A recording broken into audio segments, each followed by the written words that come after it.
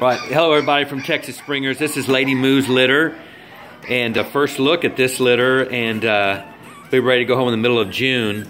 Here is male number one. Liver, these are all liver and white, of course. There's a quick look at male number one. Here's male number two. A little less blaze that line up the up between the eyes, called a blaze, and then puppy number one. Three. Here's number three. More blaze. You can see the little, much more white on the face. This little guy's- liver spot in the very distinctive liver, liver spot in the collar.